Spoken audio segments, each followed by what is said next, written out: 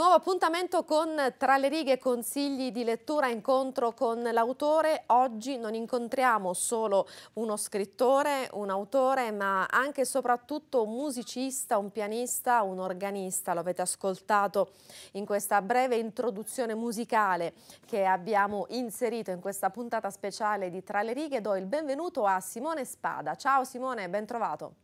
Buongiorno, buongiorno a tutti, grazie. Ti abbiamo visto all'opera, eh, sei eh, nato e cresciuto a pane e musica, è il caso eh, di dire, pianoforte, organo, musica sacra e liturgica.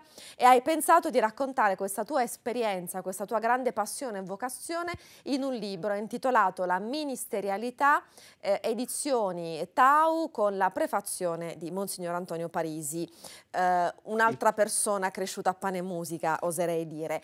E, ehm, tutto è nato nato quando avevi 8-9 anni, ti sei approcciato ad un coro, da lì è nata questa passione eh, grandissima per la musica.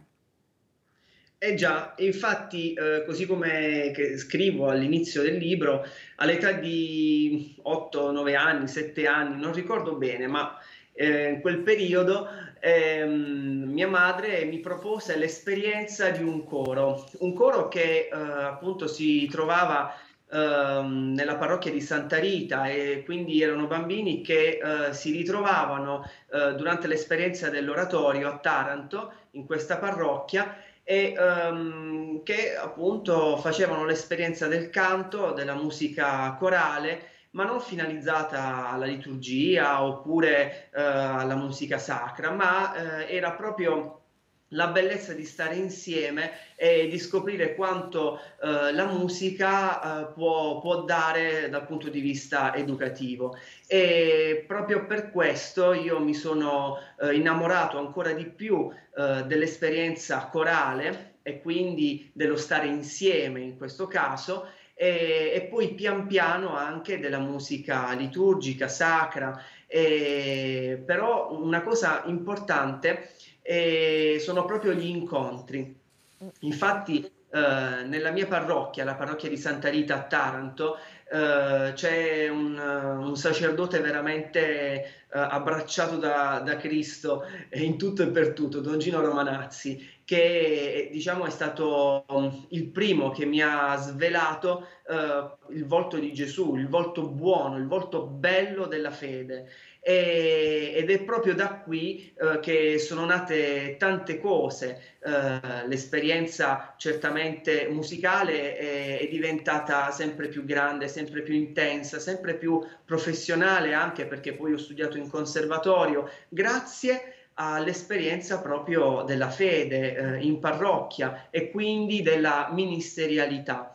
Eh, questa parola eh, forse eh, non si conosce tanto, ma è proprio la vocazione di ogni cristiano. Infatti è proprio attraverso la ministerialità che io ho potuto fare esperienza di quelle che sono uh, le cose più, più, importanti, più vere, che rispondono al cuore, alle esigenze del cuore e quindi alle domande ultime del cuore.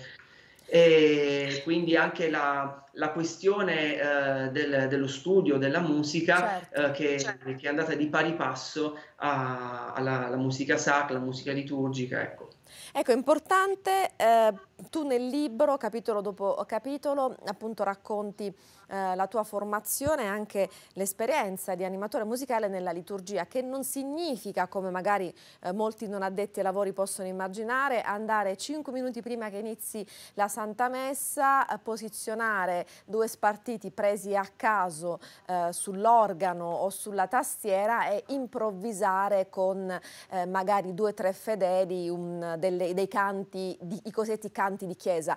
Non è così, dietro c'è uno studio, una formazione, una professionalità che va ben oltre, un vero e proprio servizio.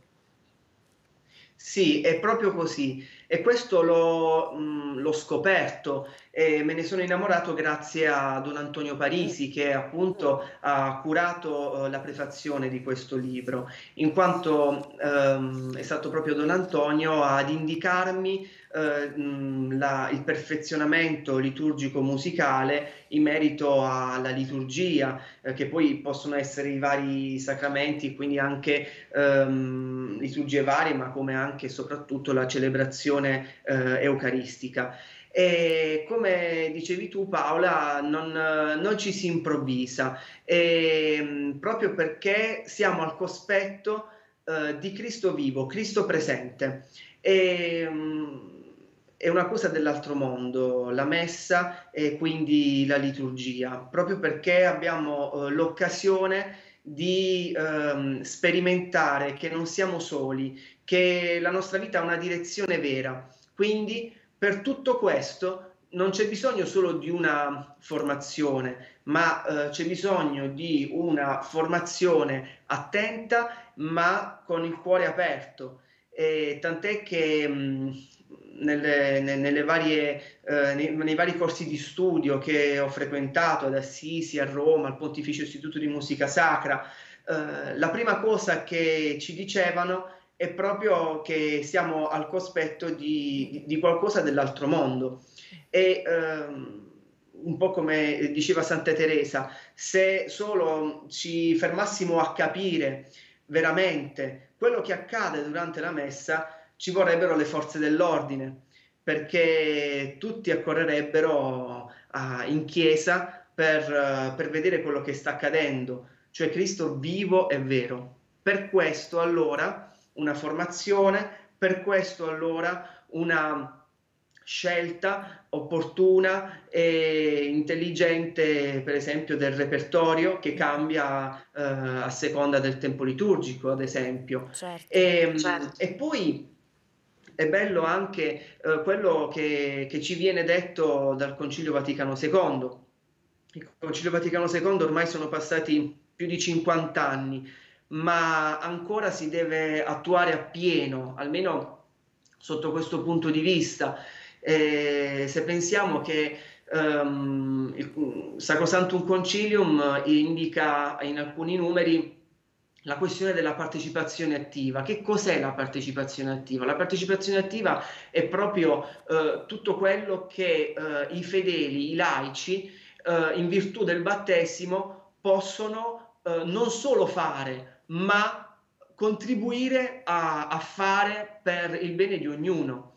Quindi eh, non è solo l'organista, non è solo eh, l'animatore eh, dei canti, ma è anche eh, il lettore, sono i gruppo ministranti oppure eh, coloro che accolgono, ma anche tutti noi che accogliamo la parola di Dio e abbiamo bisogno proprio di uno che eh, ce la proclami con ehm, con un cuore veramente pieno di Lui ecco. e quindi la ministerialità. E prendo in prestito, per concludere questa nostra chiacchierata, Simone, le parole eh, della prefazione di Don Antonio Parisi eh, che dice che il tuo libro eh, può davvero diventare un esempio per i tanti animatori liturgico-musicali, eh, offre spunti di riflessione e perché no, potrebbe davvero essere un ottimo compagno di viaggio per eh, tutti i musicisti eh, di chiesa, per guardare al futuro con più fiducia e sano ottimismo. Un libro che è, eh, è, stato dato alle stampe a marzo eh, dell'anno scorso, quindi ha quasi compiuto eh, un anno, il suo primo anno di vita. Sicuramente non c'è stata la possibilità di presentarlo nelle librerie, nelle parrocchie, perché è stato un anno complicatissimo quello che stiamo ancora eh, vivendo. Questo vuole essere il nostro piccolo contributo, Simone, e ci auguriamo che adesso nei prossimi mesi riuscirai anche a presentarlo in presenza con tante persone che sono certa apprezzeranno questa tua esperienza, anche il fatto che tu abbia deciso di metterla per iscritto e di regalarla al pubblico. Ti ringraziamo di cuore, ricordo il Grazie. titolo del tuo libro, La ministerialità di Simone Spada, Tau Edizioni. Grazie ancora per essere stato con noi. Grazie a voi.